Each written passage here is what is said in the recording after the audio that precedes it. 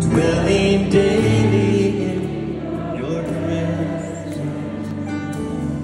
I don't want to worship from afar. Draw me near to where you are. And I just want to be where